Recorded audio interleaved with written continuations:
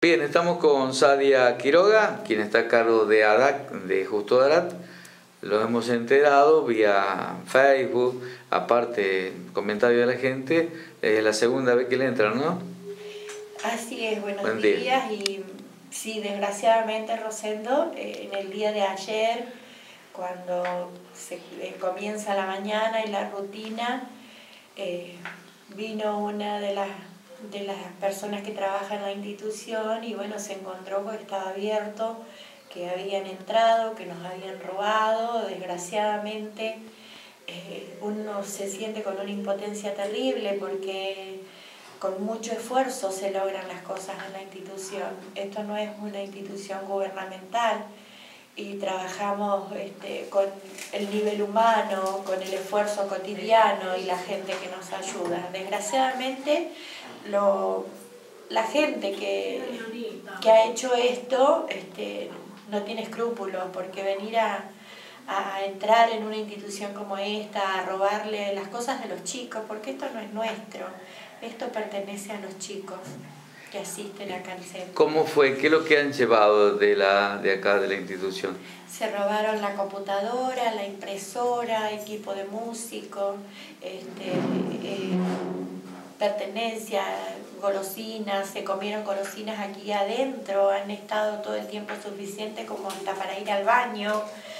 Eh, desgraciadamente es una impotencia terrible, así que le pido a la gente que si les ofrecen eh, a, bajo precio, porque sé que esta gente trata de venderlo a muy bajo precio y si saben que es de una procedencia no lícita, eh, por favor lo denuncien, este, vayan a la policía o vengan a hacer que sea acá, por favor hagan eh, que entre todos podamos lograr las cosas. Eh, aparte usted han hecho la correspondiente denuncia. Sí, obviamente en el día de ayer, ni bien este, vinimos a la mañana y se supo esto, se hizo la denuncia y bueno, la policía ha hecho su trabajo correspondiente. ¿no? ¿El de la policía local o Villa Mercedes? Eh, local y de Villa Mercedes. ambos, ambos. Sí, ambos. De la unidad regional y también de acá. Sí. Bien, eh, ¿qué otra cosa han sustraído más? No, el hecho es que entraron y se robaron lo que teníamos de valor. Gracias a Dios que estas personas han venido de noche, que no se les da por entrar en un momento cuando están los chicos, resguardar la integridad de ellos, que eso es lo que nos interesa.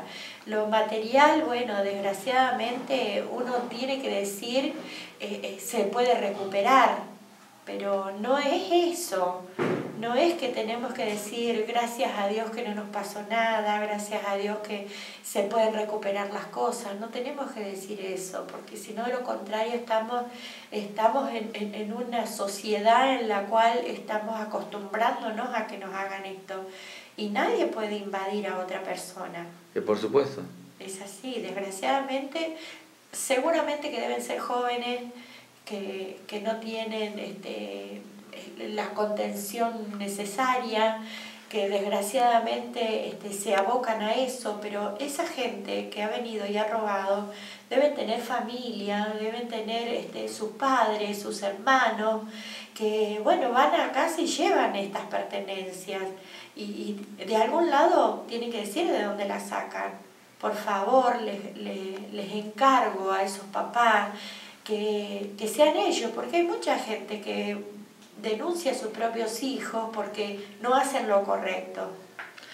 Debemos entre todos, nosotros, eh, las personas grandes, los padres, si, si no tenemos esa, esa educación para nuestros hijos, va a ser cada vez peor la sociedad. Me decía que había, habían entrado por, por la puerta.